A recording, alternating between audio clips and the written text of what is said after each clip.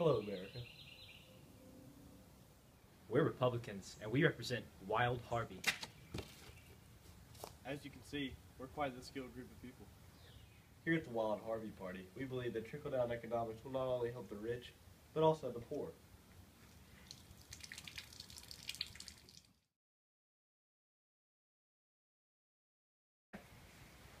I love Harvey, and I love you, America. Jake is cool. Vote for him. If we can do the campaign project from hell, then by God, we can run your country.